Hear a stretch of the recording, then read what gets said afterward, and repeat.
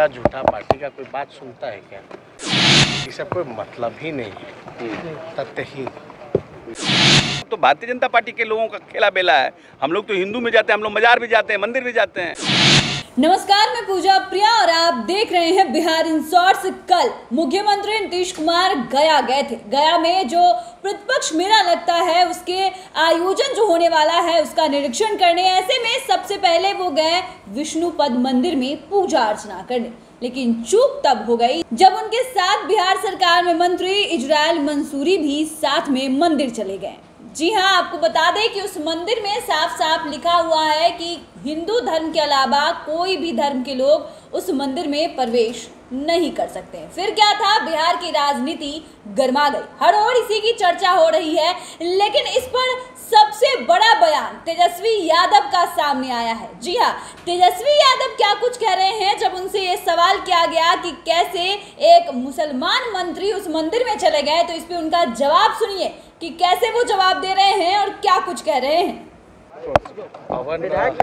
निर्माण मंत्री जी का प्रस्ताव आया कि एक बार चल के एमएलएस का और जो हमारे माननीय मंत्री जी लोग का जो नया कॉम्प्लेक्स बना है उसकी समीक्षा की जाए।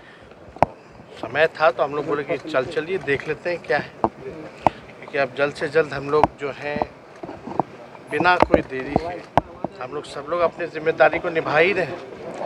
जनता के प्रति काम करना है। और जनप्रतिनिधियों को जब तक हम लोग सेटल नहीं करेंगे क्योंकि आप लोग जानते हैं बड़ी संख्या में लोग जो हैं जनप्रतिनिधियों से मिलने भी आते हैं हर तरह की चीज़ें होती हैं। तो एक बार अलॉट वलॉट भी सब लोगों को करना है ताकि सब लोग अपने काम में लग जाए। तो ये अच्छी पहल है। तो हम लोग एक समीक्षा का करने आए अब तो जल्द ही अब तो माननीय मंत्री जी हैं ही अब सब कुछ इन्हीं को करना है। इन्हीं के जिम्मे है तो यही बताइए काम एक तरफ़ आप लोग ये काम कर रहे थे जैसे जिस तरीके से बीजेपी लगातार आपके नए मंत्रियों पर निशाना साध रही है क्या मंदिर है? को लेकर मंदिर कैसे चलेगा?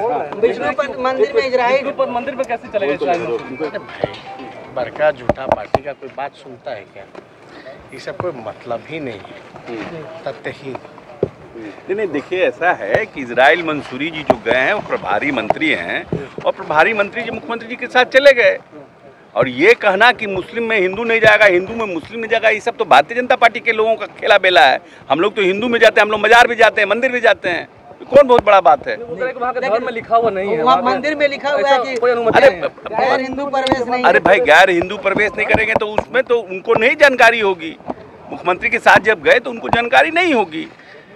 नहीं जानकारी। तो आपने तेजस्वी यादव को सुना, आपको बताते चले कि उन्होंने इस बात को कहा कि इन सब चीज़ों को हम ध्यान नहीं देते, लेकिन उनके साथ जो मंत्री थे बिहार सरकार में, अशोक चौधरी, वो साथ थे और उन्होंने साफ़ लफ्जों में कहा कि ये सब भाजपा करती है कि कहाँ हिंदू जाएगा, कहाँ मुसलमान जाएगा, कहाँ हिंदू नहीं जाएगा और कहाँ मुसलमान नहीं जाएगा। हम ये सब नहीं मानते हैं और जब उनसे बोला गया कि उस मंदिर में साफ़ साफ़ लिखा हुआ है कि गैर हिंदू का प्रवेश वर्जित है तो उन्होंने कहा कि मंत्री जी को ये बात पता नहीं थी, इसलिए वो चले गए। हालाँकि अब देखना होगा कि भाजपा इसे मेन मुद्दा बनाना चाहती है तो ऐसे में भाजपा आगे क्या कुछ इनका जवाब देती है? क्योंकि अभी तो भाजपा के कई नेता है जो ये बयान दे चुके हैं कि उन्होंने बहुत गलत किया है और उन्हें सार्वजनिक तौर पर इसके लिए माफ़ी भी मांगनी चाहिए।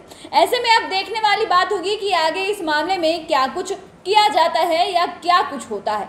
हालाँकि आपको बता दें कि तेजस्वी यादव और अशोक चौधरी जहाँ एमएलए का कॉम्प्लेक्स बन रहा है, जहाँ मिनिस्टर का कॉम्प्लेक्स बन रहा है, उसका निरीक्षण करने गए थे और उसी दौरान उन्होंने ये सारी बातें साझा किया। आप देख रहे हैं बिहार इन शॉर्ट्स। हमारे साथ बने रहे। चैनल को सब्सक्राइब करें। फेसबुक पेज को लाइक करना बिल्कुल भी ना भूले। वीडियो देखने के लिए आपका धन्यवाद।